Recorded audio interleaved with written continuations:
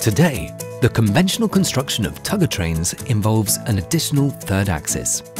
This is to guarantee stability and better tracking while in motion. With TENTE's new system solution, including the 468S caster with directional lock, this third axis can be omitted.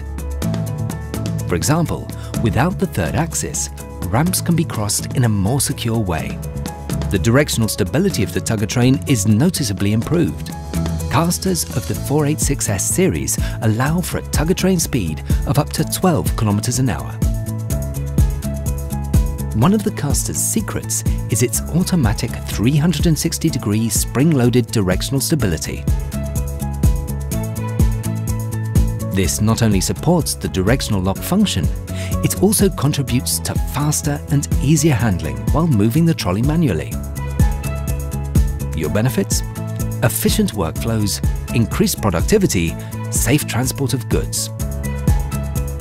TENTE. Better mobility, better life.